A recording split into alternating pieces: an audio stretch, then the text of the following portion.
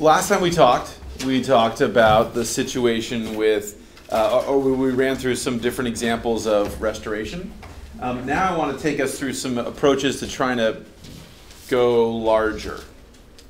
Um, these are not lectures about large-scale restorations per se, but this is this is an example of how we might be able to go from smaller scale to larger scale. So we run through three different examples. Um, ultimately, we all want to do large-scale restoration, have large-scale chunks of area, uh, you know, healed and recovering more fully. Um, but oftentimes, the parts that we're left with, especially in places like uh, urbanized Southern California, the parts we're left with are relatively small parts. One. Two, the funding we have available is relatively small. So we, we, we can't, we maybe can't you know, do miles and miles and miles and miles of areas from the get go. So you will find yourself more often than not working on relatively small, small chunks of land, as we saw with the Ojai uh, Meadows Reserve, et cetera. You can start small and you can, you can phase up. So let's talk about how we might go about um, scaling up restoration projects. Um, as a reminder, this is a, a, figure from one of our earlier lectures, just this notion of, um, in this case, this is, this is old data, but this is wetland uh, success, restoration success in Florida. And the key point here is whatever our metric is, generally speaking, we rarely get full success, right? So usually what we do is better than nothing, but we don't often hit every hit um, on all cylinders every single time. So one thing we can talk about when we do a, a, phased type of an approach is one, it allows us to look at the methodological uh, tech, the techniques we're actually going to use to do the restoration. Two, it allows us to um, hone or fine tune our evaluation skills. And then third, it's it oftentimes is a really key place to have exchange.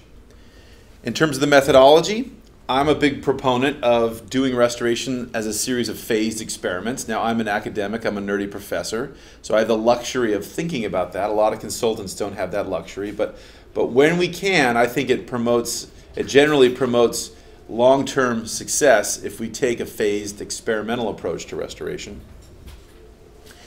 Throughout that, we don't just get a little bit larger, a little bit larger, but we can actually go up to uh, orders of magnitude greater extent from phase one to phase two to phase three.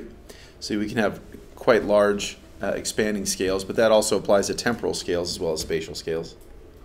In terms of evaluation, it allows us to, if we don't currently have indicators of ecological functioning and restoration success, it allows us to um, hone those or fine tune those to the particular environment, the particular geography, uh, where our restoration might be occurring. And related to that, it might allow us to develop a network of reference sites. And as we'll talk about, um, especially in heavily degraded, fragmented areas, you really do need a network of reference sites. Just picking one reference site, which is the old sort of theoretical approach, pick the healthy forest site and compare it to your forest. We rarely have a super kick butt healthy forest site now. We have to have a network of sites to try to piece together what we might think would be a high level of ecological functioning. And then in terms of facilitating exchange, uh, that, that um, this still exists. It's getting much better. It's getting much better. But there historically is this divide in at least academia, traditional ecological research, between the so called quote unquote basic research and the quote unquote applied side. Restoration is a place where those folks can very clearly come together if the basic scientists really truly understand things the way they claim they do, they should be able to piece together the jigsaw puzzle, right? And and applied folks, practitioner folks, benefit from some of the perspective and theory, uh, et cetera, that that um, the folks from the more quote unquote basic science realm um, bring. And so so a, a, very important way to exchange talk. Again, this is getting better, but um, this has been a problem in the past uh, in terms of academic research. And, and related to that is also the, the university scientist person better interacting with the practitioner consultant world person. And that, uh, that's gotten much, much better in the last many years. Okay, so we're going to talk about three different examples today of some restorations that I've done. One is right out here, right, just a five minute drive from campus, the Mugu Lagoon uh, salt pond restoration. Then we'll talk about some of our grassland restoration, and then we'll talk about some restoration work uh, most recently we've been doing in Turkey. Uh, so uh, we'll touch. We'll go into more depth on all these, but real quickly, Mugu is going to deal with ecotoxicology.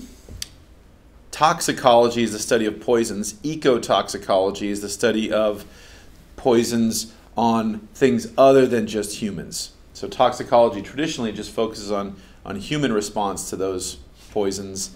Ecotoxicology looks at uh, includes that, but also includes what that does to non-human organisms as well as the ecosystem. So we had ecotoxicological concerns there with some, some heavy metals and some issues related to toxicity. And so there we, um, we, the main approach was to see if we could use some potentially toxic sediment in our restoration. In the grassland experiment at Stanford, we have the massive challenge in California of our grasslands being dominated by European and Asian grasses and our native grass species, uh, but a small sliver of what's there, what's remaining. And so a lot of the approach that, that I took there was to evaluate different seed mixes and see what you know what blend would be best, etc., and also work on different invasion, invasion suppression techniques. In Turkey, we basically have there's a whole bunch of problems in Turkey right now, but suffice to say, we didn't have any. We had very little money. Um, initially, when we began, zero local capacity, and a huge issue with uh, government corruption and, and nepotism and things of that nature. And so there it was really about testing restoration as an idea, not even necessarily a particular method, but this whole thing was foreign to uh, folks in the area. So the, the very notion of restoration as a thing to do, and then uh, trying to build an, an ethic or an, an, ethos to uh, uh, have people worry about the environment or consider the environment um, from the get go. So, wholesale, a very, very, very challenging situation in uh, Turkey.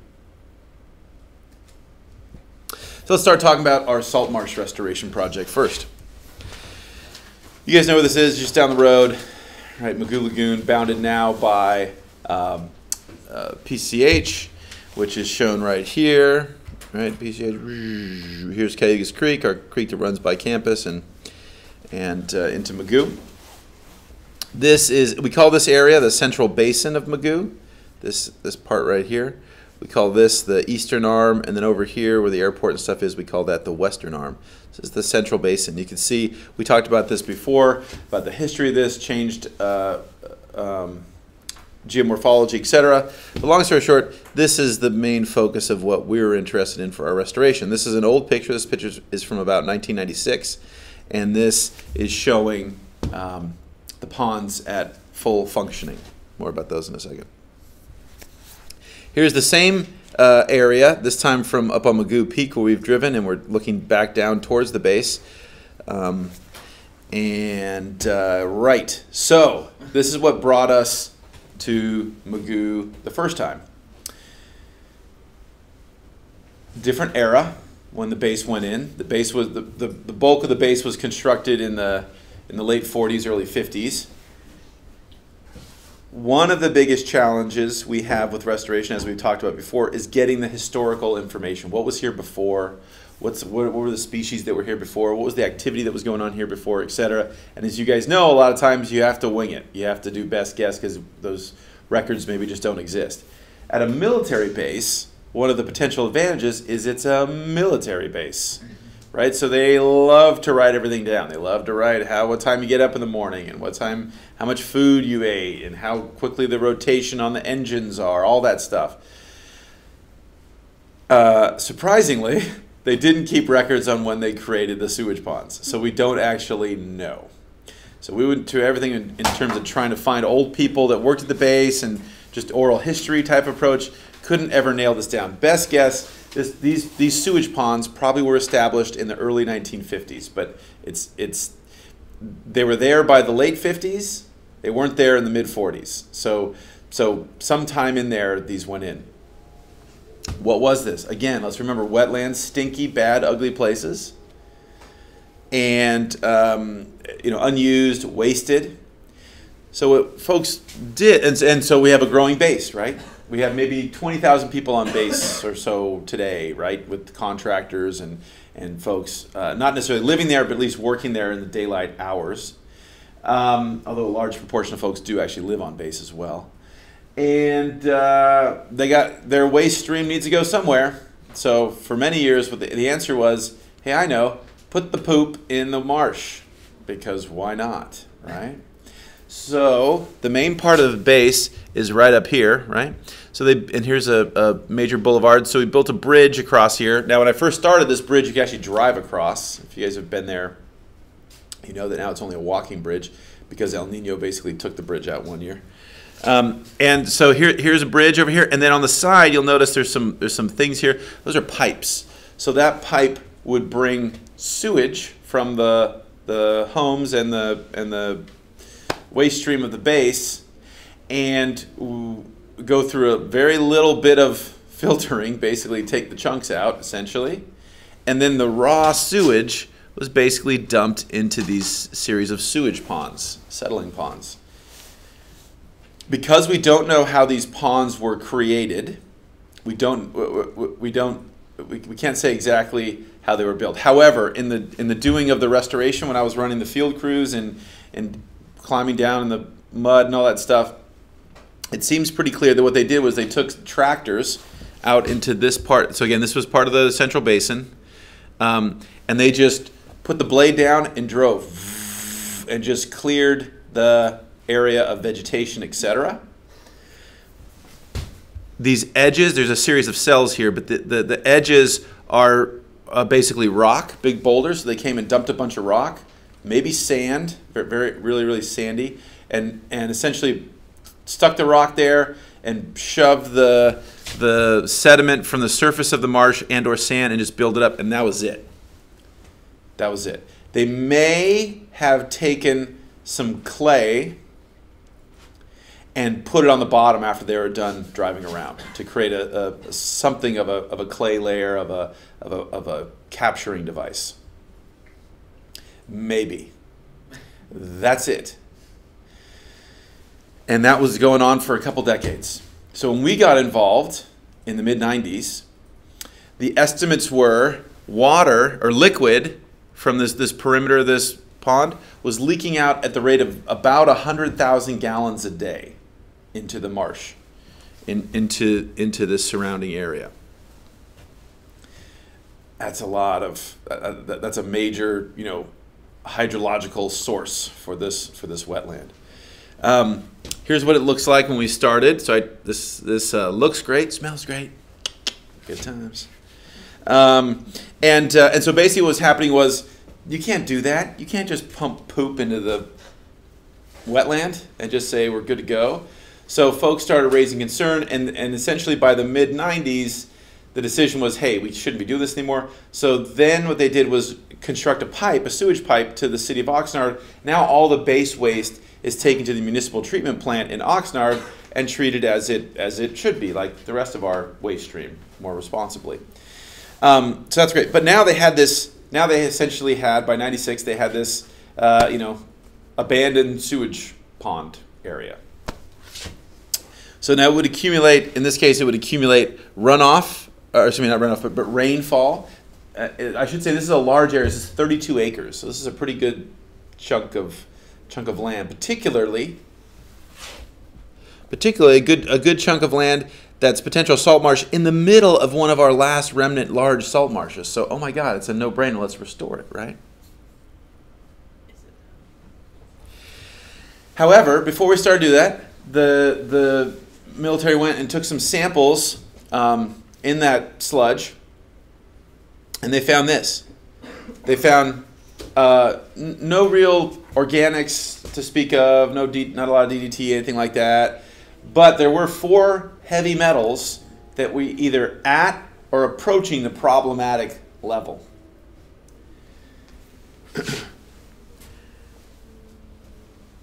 so the, the, the presence of these, these contaminants make the waste classified as non-hazardous sewage sludge. Now when I came into this, non-hazardous sewage sludge, that's cool. It's non-hazardous. No, that's not good.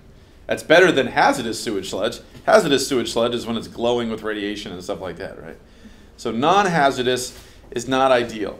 So non-hazardous still has to be disposed of. Non-hazardous is considered material that should not be allowed in place.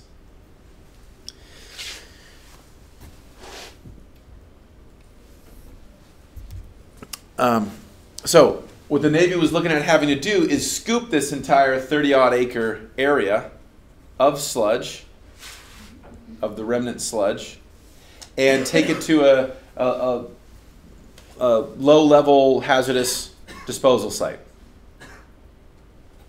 Big hole in the ground would be left, and that's it. No mandate to necessarily restore, just dig out this area. That would have been super expensive. Unclear how expensive, but on the order of tens and tens and tens of millions of dollars, at least. What are the units of this Um, I think these are parts per million, I think. in? Parts per million? I think. I think it's parts per million. Yeah, right, exactly. So, at the time, still, this is still the case, but at the time, a lot of the restoration that had been done in Southern California, had been done by some of our, for example, colleagues down at San Diego State, and they typically used, uh, and other restoration folks used whatever sediment was around. Oftentimes, that was sand. Oftentimes, that was large grained stuff. So that means that it wasn't really silty, wasn't really clayey, and we tend to have really, really poor performing plant communities in our salt marsh restorations in the 80s and early 90s. So, uh, one of the recommendations was hey, make sure you have enough organics in the soil, make sure you have enough nutrients, etc. Here, we had poop, we had sludge. That should be an advantage, right, that other folks didn't necessarily have. However, we have the downside of toxicity. So the advantages of thinking about maybe somehow incorporating the sludge into the restoration are one, first and foremost, it would allow us to restore the place. Because the Navy wasn't necessarily required to do it otherwise. So if we somehow used it in place, instead of having to haul it off, that would by definition be guaranteeing the Navy would become invested in wetland restoration. Okay? Number two, as I mentioned, uh, this sludge is relatively nutrient rich, right? It's fertilizer basically. So that so the problem of making sure the plants have enough nutrients to grow, that that's we kind of take care of that at least to an extent. On a logistics side, we don't have any disposal costs, right? So that tens and tens of millions of dollars can go into restoration. No, they won't. Right? It doesn't work that way. But at least at least um, we avoid that cost and the trade-off is maybe they'll give us a fraction of that money they otherwise would spend for the restoration, a non-trivial concern. And then lastly, for stuff that we care about, that would have been tens of thousands of trucks of, of dump trucks going from here to at the, at the time the the naval the, the disposal site for this type of stuff for the for the DoD was in it was either Utah or Nevada I can't remember but we had to, we have to ship it to another state basically right all that air pollution all that uh, fuel consumption right so if we can use the sludge somehow we can avoid all those transportation etc impacts clearly the worry is well if we use this material in our wetland, it might be bad for the critters in the wetland. Maybe we have these metals and stuff, that's, that's bad, right? So maybe we'll be poisoning our, our guys that live here. One. Two, maybe that poison, because we're talking about making this a more connected marsh, healthy wetland, instead of contained in these ponds, we're going to be breaking down to an extent the walls of the ponds. Maybe we'll be letting that poison out as well. So maybe we'll be poisoning guys right here. Maybe we'll be poisoning the rest of the marsh or other areas. So those are the potential advantages and disadvantages. Everybody cool? So again, the challenges were um, were the outright to- potential toxicity of the sludge. Two, you can't just take this stuff and put it out in a wetland. That doesn't work, right? There's federal laws, state laws about releasing essentially poison into the environment. So we had to get a lot of waivers, many, many waivers. We had we spent a lot of times in meetings and and, and talking with different you know guys from the EPA, et cetera, to to allow us to even try to start to do this. And then again, thirdly, uh, especially back then, we really were still figuring out how to do salt marsh restoration. So there's you know exactly how we should go about doing this. What's the most optimal way to restore these sites? So this is what we proposed, and and this is what we got approved by the regulatory agencies. We said, here's what we're going to do. We're going to do a series of phase approaches. We're going to start very small, small spatial and temporal scales, and we'll make sure the stuff isn't totally toxic and isn't going to kill things, right? And if that goes okay, we'll go to a slightly bigger scale, slightly larger area, slightly longer time, and then if that goes, you know, etc. So in this case, the phased experiment, the phased approach to restoration, to the phased approach to scaling up, was central to being able to do the restoration. If we'd not done it this way, there's no we, we could not have done it. So just to give you guys a sense of what was going on, the first phase was essentially one experiment involving 280 plants that went for just a bit over a year and was the si- scale of the size of a one gallon pot, planting pot. Uh, phase two was what we call the pilot restoration, and that was uh, you'll see that, that that's a series of experiments and that was going to go for a couple years. That's on the order of one hectare and and tens of thousands of plants. Actually well like, i think it was like 12000 or something but you know a lot of plants. And then phase three and four were larger and larger scales. So let's talk about what this place looks like to start with. So um, this is on the upper right this is what the sludge looked like when we started so right, we'd cut off we cut off new additional input of of waste into the system for a while uh, by the time we started this. So this this looks like uh, kind of like moon rocks, you know, sort of sort of uh, a lot of fissures. if you look over on the left, you can see one of the reasons why we think there might have been a clay lens under. Well, there clearly was a clay layer underneath the sludge. So this is this is this is some you know uh, here here's the sludge essentially, and it's you know several feet thick, and then we get to this clay-like layer, right? And then it's pretty much homogeneous old school wetland sediment below here. So if this if this wasn't intentionally put down, it somehow accumulated or what have you. Um, it wasn't consistently laid down, so it wasn't homogeneous. It wasn't a perfect uh, clay layering if, if it indeed was, but there's definitely clay uh, underlying the sludge. And then this is, let's see, this is me. This is my PhD advisor. This is a lady who now runs a consulting firm uh, in Southern California. And this is uh, a friend of mine who now is a big mucky muck in the Army Corps of Engineers. So this is us shoveling. So I literally shoveled shit for my PhD. So, so I, I both figuratively and literally. So this was this was awesome. Um, you can ask me more details, ugly, gruesome details later if you want. Okay, so the first question was pot experiment. Basic idea here is, hey, can we take this sludge, dilute it with clean sediment, and take the toxicity, take, take the potential toxicity away or, or, or vastly reduce it,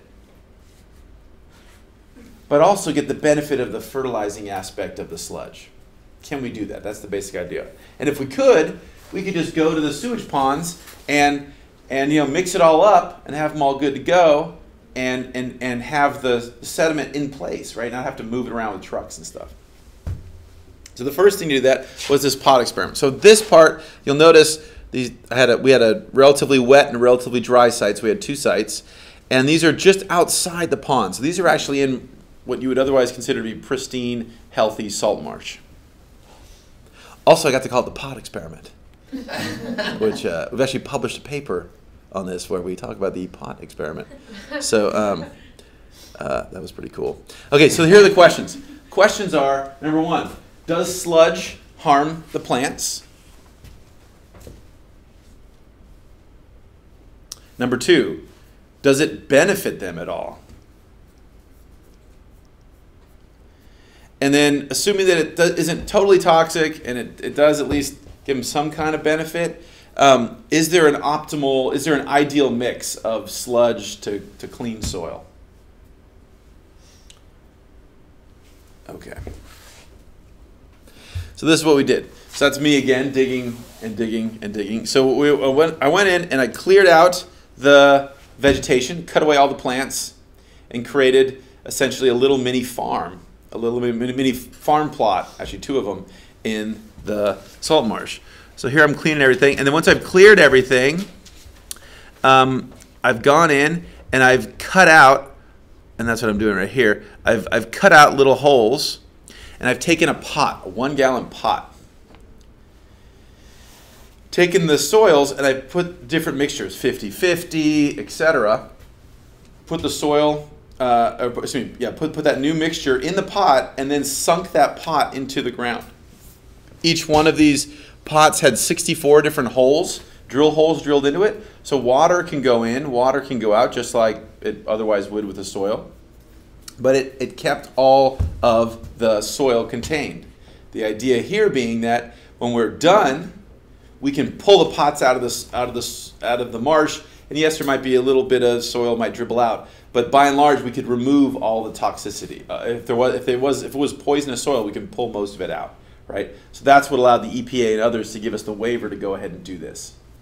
Um, in addition to just, and so again, uh, various mixtures of, of sludge to other stuff. You'll also notice if you look close, here's a pot sunk to the ground, here's a pot sunk into the ground, here is just dirt. So we also have procedural controls. So we have a few controls where we actually put just the soil straight into the uh, sediment. And then we planted the two most common community dominant species in there. So Salicornia and Frankenia. So, so one individual plant was planted into each pot. Cool? Everybody with me? All right. And this is what we saw. Again, recall we had a relatively dry site, rel- which is a little bit higher, relatively wet site that had much more uh, standing water, etc., throughout the year. And this is what we see. Let me orient you to this. So this is so so the, the plants did their due, they grew, and at the end of the experiment, we pulled this up. Actually, a, a guy cut me off on PCH and almost killed me. So I, my, my van, my poor van died in the process of this experiment, but I didn't, and the, the other guy didn't. But um, but uh, when the accident happened, I had all I had a large chunk of this biomass in the back of my van, and, and they're like, you gotta it, no, no, sorry, plant biomass, not sludge biomass. Sorry, sorry, sorry, sorry. sorry, plant biomass. And when they we're doing something like, gotta save the plants, and people are like, what are you talking about? We're towing it to the impound yard. No, you can't tow the impound yard. There's, there's dead stems back there. They're, what? This guy's got a concussion or something. Anywho, so here we go. So, so this is, so this is, um, okay, so this is looking at the above ground biomass. So all the individuals have been snipped right at the, right at the interface where, where the stem comes out of the soil, individually bagged, and then taken back, dried, and then weighed. And so what we're looking at here, this in this case, this is salicornia, our pickleweed. This is dry weight, and this is the different mixtures we had. So 0% sludge to the maximum we calculated was 70% sludge because we calculated if we went above that, we would be into the potentially legally problematic levels. So all these these dilutions brought us into what were considered non-toxic levels of these uh, materials. Okay, so we have uh, our wet site is in light green, our dry site's in dark green. These are means and standard errors. So these are all uh, in pots, pots, pots, pots, pots. This was actually wetland soil. So when I dug out the, the holes, I, I saved some of that soil. And, this, and then I use that. So that, that's the most ideal. That, that's the primo soil, right? It's the best we could possibly have. That's where the plants are growing now. So I, I did that. And then again, there, I mentioned there's a procedural control where we didn't have a pot. And so I did that with the wetland soil so that um, if there was a problem, we wouldn't have to dig out, you know, I could leave that in place at the end of the experiment. Okay, and what, what pattern do you guys see? Less sludge better for the wet sites. Uh, right, yeah, so, so um, it looks like well, okay, so, so one observation was less sludge is better, maybe. Uh, turns out none of those were statistically significantly different. None of these, none of, say, the light green bars here were statistically significantly different from one another. But compared to wetland soils, right, you're right. In general, our mixtures, plants didn't do as well in those treatments relative to the ideal condition. That's not surprising, right? So the ideal, so we're not hitting the ideal, but, but, and there's maybe the suggestion with more sludge, uh, again, not significant, maybe the suggestion with more sludge, uh, less performance of the plants. But, um, but if we talk the dry site, there's, there's no difference at all.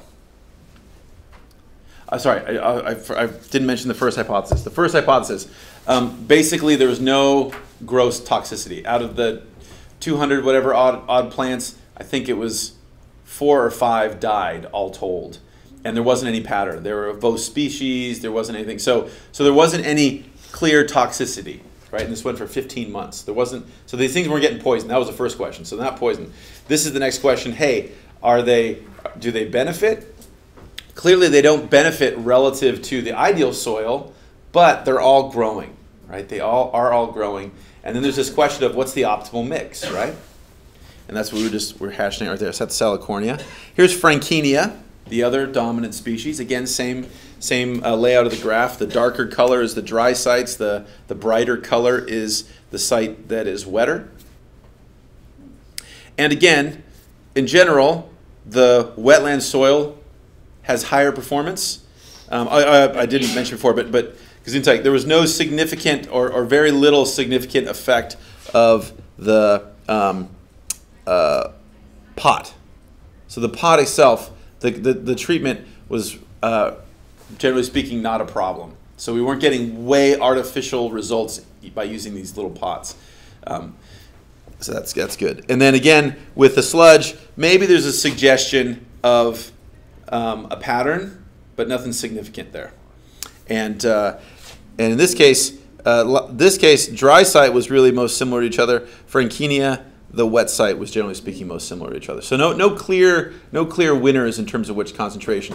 But armed with this, armed with this, we were allowed to go to the next phase. This is the next phase. This is called the pilot experiment, and um, and so this was going and doing our first real construction. This would be the first real restoration experiment per se. Um, that, that, uh, that first phase is almost like a pre-restoration experiment, you could call it. So we do this, and this is what we did. So this is the diagram of, of my experiment. So this is the outer wall. This is the outer wall of that um, of the ponds. So the plan was to delete this, so to take out this wall, to construct a tidal creek in here.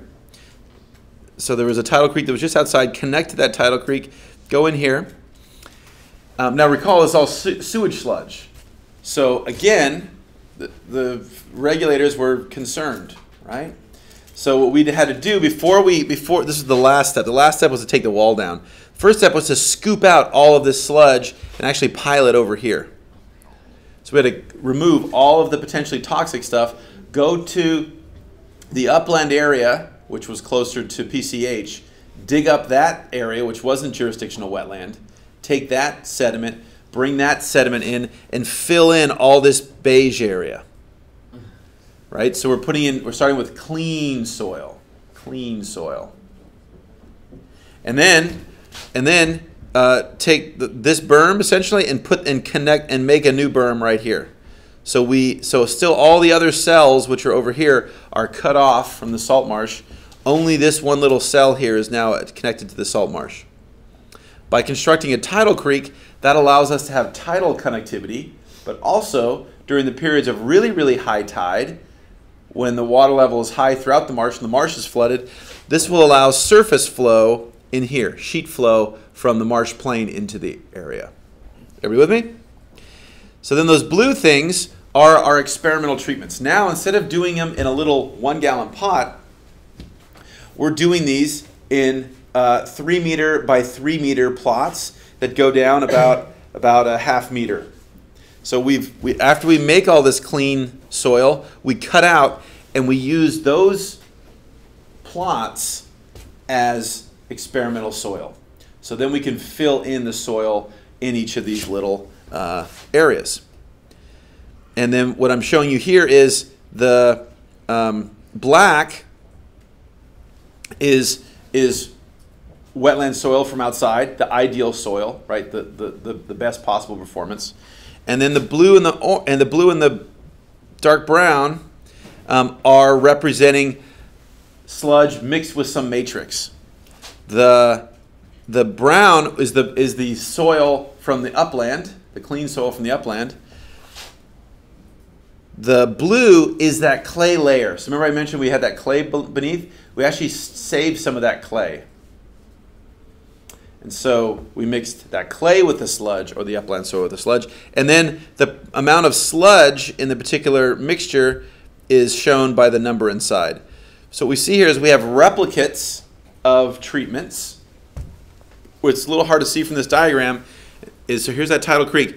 This is very precisely engineered to go from relatively sh shallow to relatively high elevation. Relatively shallow here to relatively high elevation. So this is essentially a very, very subtle valley in the middle of the tidal creek. The idea there is that the elevational or the inundation exposure of this row is equal to this row. The inundation eleva the, the elevation of this row is identical to this, so they're designed to be mirror images of each other. So we had replicates. Yeah, Hayden. How long did it take you to set up It took a long time. so I'll, I'll, tell you. I'll tell you about the actual logistics of it in a second. But it took. This was several years because of. Uh, I'll tell you about what happens next. So so so here you go. So here, here are the different matrices of the the, the um, sediments that went into making our mixes, and so we had this you know clay layer, and then we had different wetlands and berms, etc. And what you see is the sludge, and this is sand, silt, and clay. Remember, sand is the relatively large grain fraction of the sediment. Clay is the finest uh, particle size. Um, these guys, the wetland sites, you know, there's of course a decent amount of sand, but there's there's a good proportion of silt and clay, right? The clay layer, quote unquote, from underneath was you know similar to that, but the sludge and the surrounding berm were way, way, way, way over enriched with sand. They're very coarse grained. And again, this is the typical size distribution that people were using at the time in salt marsh restorations in California. So clearly, we could use the sludge, but in addition to just any whatever is going on with the sludge in terms of toxicity, whatever, by using the sludge, we're having a lot of sand. We're making the, the soil a lot less clayey, a lot less silty. Cool?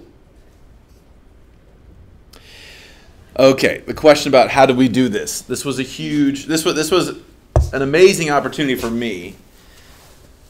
My professors were busy folks, as you guys know I am, and and some of you guys are following in my footsteps in this in this role, which is the professors sort of had the projects, get the money, this and that. They're usually too busy to go out and do the work, as you guys know from my projects, right? I send you out to go do the mapping with the drones and the this and the that, right? So in this case, though this was an incredible opportunity because I got to be in the driver's seat essentially for the restoration construction. That would never happen, or, or that's very, very rare, right? Typically, that's something a senior project manager would do, and this and that. So it was a great experience for me. This was on the military base. The military guys said, hey, this is great. We have Naval Construction Battalion, CBs here. Hey, this is great. We'll, we'll teach our, our young guys how to work in the marsh right? Because Navy guys might need to do that, right? If there was a war or a disaster relief, something like that. But what that meant was they gave us their 18 year old guys that had never driven a tractor before, by and large, right? And so they looked upon this as a training opportunity. We've talked before about the importance of, you know, spend more money, get the expert excavator, you know, driver, whoever it is, because it's way, you know, it's way, way better. This is one of the reasons I say that. So we started doing this. So have a look. So here is here is uh, the area we've cleared it, right? And so you can see how nice and flat it is, right? We're in one of this the, the pilot restoration here. What you can't tell from this picture, perhaps, this is an excavator. This is called the D6. This is a very, very, very large bulldozer. You can't see it very well because the mud is just about, or the, the, the sediment is just about up to the cabin. This giant, massive piece of machinery is sinking into the marsh. Because a kid was driving it and he started to spin the treads and he didn't know how to behave and he, it just he just started spinning. And this is a wetland remember? And it just started sinking and sinking and sinking.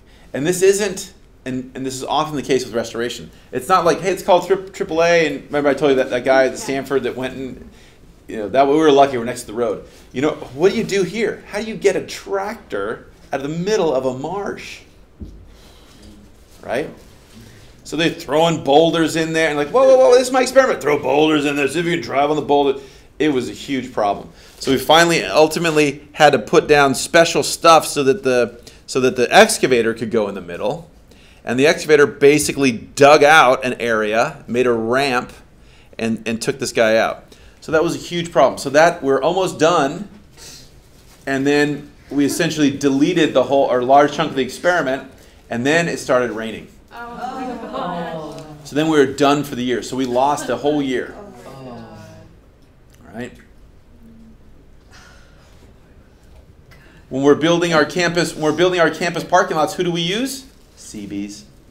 Why? Because they'll do it for free, just materials. And campus, we're so poor. Hey, let's have those guys do it, right?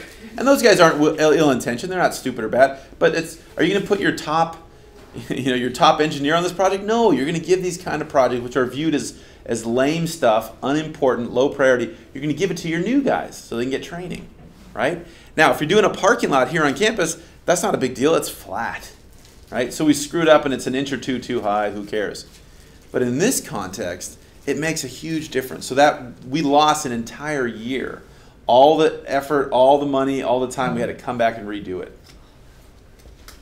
that's one, that's one example of logistical challenges we have during restoration. Another is this thing on the left. So on the left, what we're doing is we're making the mixtures for the plots. I'm going to put it in the plots. Okay, so we're taking literally, and you know this is large volume of soils. I just showed you 50%, right? How the hell do you get 50%? Well, you have two piles of your material, and you scoop up pile one, dump it in this big giant hopper. This is this is basically a big semi truck. Dump it in the hopper. Grab the other pile, dump it in there, right? This is an industrial mixer. This particular soil mixer is generally used at toxic sites that um, people need to mitigate for the soil and all this and that, so it's very expensive. Also, it runs on its own generator. Also, it is old technology. Also, it was at the time a big problem for the air quality uh, management district. Almost all of these counties around California had essentially grandfathered this type of, of engine and emission out. It was basically a dirty diesel engine, essentially, is what it was. And there, there's only like a handful of these in the state. There's like six or something like that. So this was expensive. This was on the order of, I don't remember, $10,000 a day or whatever it was costing us to have this hopper there. And so just, just for finishing, once we would do that and we'd run the material through and we'd get it blended, we'd scoop it up again and run it through one more time. So we'd have it homogenized. Um, but essentially we'd do that. This little loader, whatever it was, this little loader would pick up the stuff that came out, drive it over and dump it into my plot, and, and we'd, we'd work our way around. We're in the midst of, we're just starting this, right? Starting this, starting this, starting this. And this guy walks out with a hard hat, white hard hat, safety guy. So I'm out there. he goes, Hey, yeah, how's it going? Talks all nice for 10, 15 minutes, chatting. Yeah, blah, blah, blah. So, um, yeah, so what are you guys doing here? Oh, you know, we're, we're, you know, blah, blah, blah, trying to restore this wetland, this and that. Huh. Yeah, well, um, you have to turn that thing off. What's that? You have to turn off that hopper. Why? It's not permitted in Ventura County. Ventura County and one other county in California were the places it wasn't allowed. Not allowed to do it here. Oh, yeah, well, we've already done all the contracting. I only need about like three more days. Yeah, sorry. Turn it off now, in the middle of the day. Uh, wait, what? So $10,000 a day we're paying for it, regardless if it's working or not working, right? So that lost about about five days of just people calling people, and they finally said, "Okay, you guys can use it," and then fire back up. So a few months later, this, they, they, they eliminate that, that concern, and now it, and it was okay to be used. But it's that level of problematic stuff that you have to deal with when you're doing these restorations. So, so the logistics of actually working in a wetland, non-trivial, dangerous potentially. Secondly, this issue of, of overlapping jurisdictions, right? So when people talk about the incredible um, bureaucracy in California, it's totally real.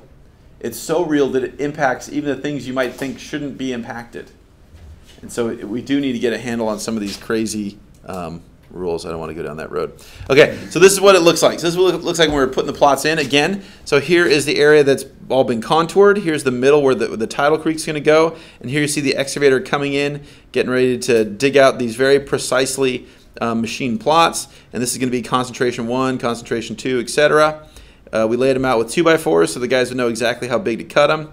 And then, and there you go. You guys see how we do it.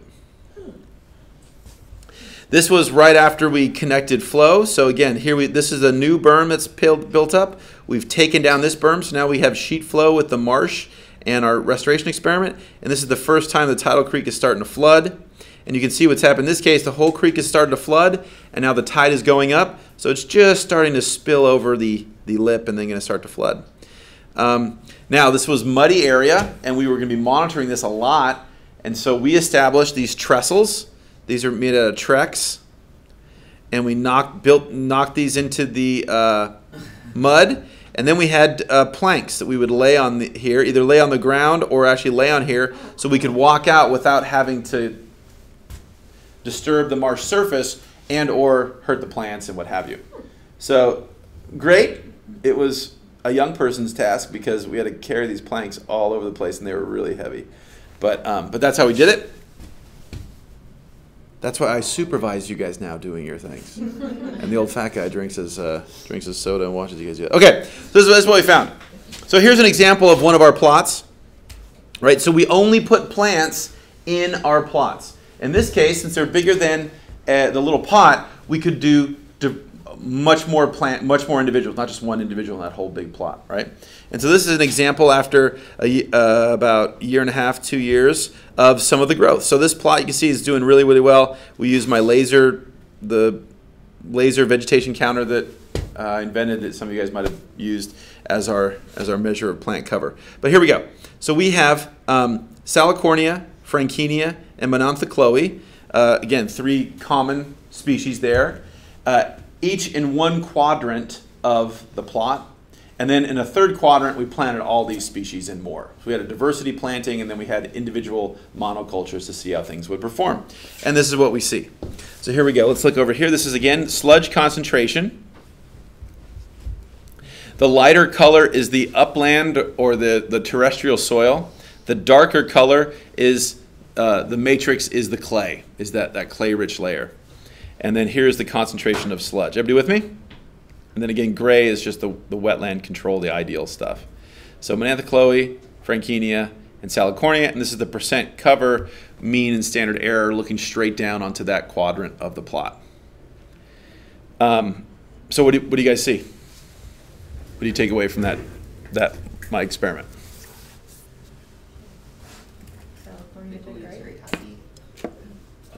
Salicornia, yeah, right. So, so Salicornia is one of the community dominants. So it grew a lot. It, it dominated a lot. Cool. What about how, how, how did how did our plots do compared to the wetland? As be, as good or better. In most cases, not statistically significantly different from the wetland, which is awesome. right? Okay, so that's that. Uh, now we couldn't look at direct mortality in this case because you know it's a bunch of plants. And so if one died in the middle you wouldn't really be able to see that. But there was no major die-off. There was no big brown spots or, or, or canopy openings generally speaking. And so so that's okay. Now what about the I- ideal concentration? What's the ideal concentration? 50 why? Why do you say 50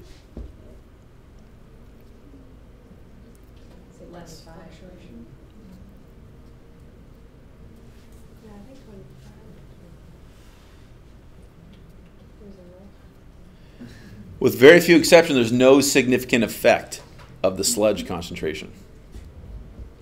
The bigger effect is the dark, and, it, and this isn't always significant, but when there, but the trend is the darker color, right? Uh, the, the, the bar on the left, excuse me, the left is generally speaking higher performance than the one on the right. Not, not necessarily significantly different, but that's the trend. That's the only consistent trend. There isn't a consistent things always do better with more sludge or always do better with less sludge. That seems to be the pattern. So the soil matrix seems to be more important than than just the um, than the, the sludge itself. Everybody with me? Okay, so that allows us to go to the full restoration. So the full restoration was, hey, let's mix this sludge in place with that, homogenize it with the clay layer underneath, and essentially make what would be about a 25%, well, um, take that back. It would make about, it would make about this constant, about this concentration, about 75% concentration of uh, sludge.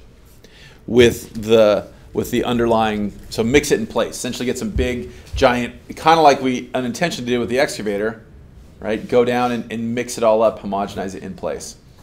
And we can allow oh, I, I, I, didn't i don't show you this here but also we did a bunch of other stuff. Collected a bunch of Cerithidea mud snails a bunch of crabs caught fish and looked at the metal metals concentration in those tissues Similarly, we did the same thing with plant with the, the plants. I'm not showing you that, but we actually analyzed the, the plants that were samples of the plants that were growing the plots and plants that were just outside.